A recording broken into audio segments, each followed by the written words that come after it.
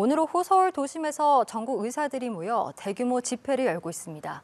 의사들은 이번 집회에서 정부의 의대 증원과 필수 의료 패키지 정책 철회를 요구하고 있는데요. 서울 여의대로에 나가 있는 취재 기자 연결해서 현장 상황 알아보겠습니다. 최진경 기자. 네, 서울 여의대로에 나와 있습니다. 지금 이곳 여의대로에서는 대한의사협회가 주관하는 전국의사 총걸기대회가 1시간째 열리고 있는데요.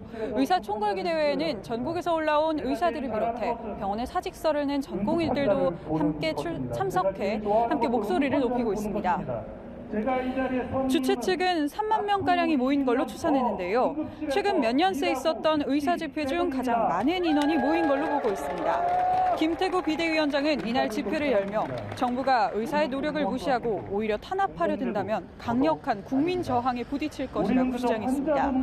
의사들은 정부의 의대 증원과 필수 의료 패키지 정책을 비판하는 구호 등을 외치며 정책 철회를 요구하고 있습니다. 네, 정부와 의료계 간의 갈등이 쉽게 사그라들지 않을 것 같은데 경찰은 불법 행위에 대한 엄정 대응 방침을 유지하고 있죠. 네, 그렇습니다. 경찰은 이날 집회에 54개의 기동대를 배치했습니다.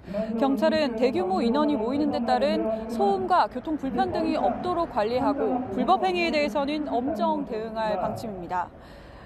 앞서 경찰은 지난 1일 대한의사협회 전현직 간부들의 사무실 등을 압수수색한 바 있는데요. 조지호 서울경찰청장은 오늘 브리핑에서 압수수색과 동시에 출석을 요구했고 고발된 5명 중 4명에 대해 추가로 출국, 출국 금지를 요청했다고 밝혔습니다.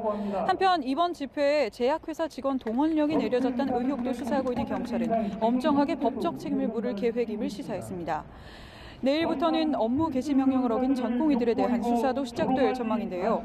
경찰은 전체 사안을 주동하는 의료인들에게는 구속 수사까지 염두에 두고 대응하겠다는 입장을 전한 바 있습니다. 지금까지 서울 여의대로에서 연합뉴스TV 최진경입니다.